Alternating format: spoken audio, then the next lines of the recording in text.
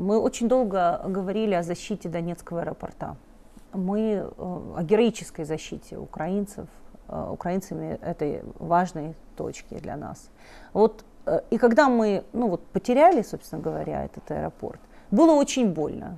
Вот очень больно. Вот даже вот тем, кто ну вот даже я, да, человек не военный, далекий, который очень хочет мира, вот, и было очень больно, потому что мы потеряли какую-то важную для нас, вот с моральной точки зрения, часть Украины. Вот как вы считаете, вот эта защита Донецкого аэропорта, она была нужна или, или не нужна? Вот иногда говорят, за что люди погибли-то? С другой стороны, тоже ж важный вопрос.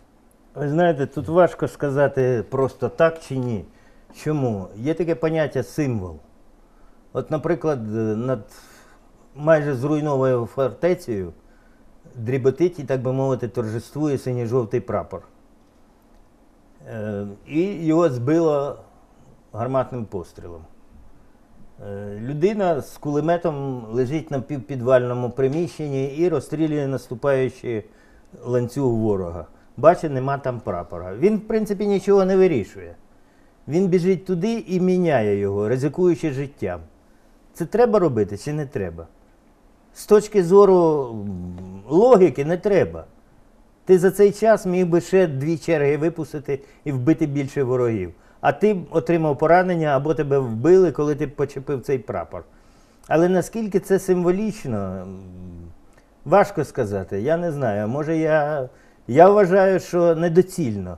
Але я не впевнений, що я сам не побіг би і не почав би під обстрілом чіпляти цей прапор. От Донецький аеропорт це був отакий символ, який з військової точки зору він не потрібний. Це руїни, в яких навіть ховатись було важко. Але те, що так затягли, те, що коли е, не зуміли е, організовано вийти, там же ж коли рухнув другий поверх, оцей сет хорунжий, він же ж загинув там. Слава Богу, його встигли витягнути наші. Тому що УНСО там твердо своїх ні мертвих, ні поранених не лишати у ворога. Але там під руїнами лишилися десятки наших хлопців. І я не впевнений, що таке бетон рухнув. Там могла десь бути і ніша, де він може і досі лежить.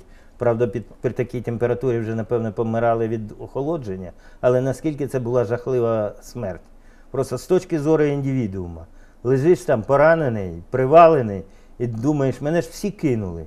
І чуєш, як хлопці переговарюються, десь ходять зверху і починають покидати цей аеропорт. Я думаю, що просто сама система оборони цього аеропорту була не чим іншим, як злочином з боку вищого командування. Треба було розширювати, треба було йти далі. Чому росіяни вибивали нас з цього аеропорту? Тому що це був плацдарм до атаки на Донецьк, на мільйонне місто. І нам починають говорити, в мільйонному місті, якщо б ми почали його зачистку, було б дуже багато втрат. Я вже казав про доброго хазяїна, який потрошку відрубує хвостів. Рано чи пізно нам доведеться йти знову на цей Донецьк. І може не один, а два-три рази. І втрат буде значно більше, але вони просто будуть розтягнуті в часу. Коли треба було дійсно накопичити сили, вдарити і, спираючись на аеродром сам, захопити місто. Ми ж його втратили по-дурному. Взяли цей Славянськ і дали можливість вийти бойовикам, ніхто не зупинив ці колони.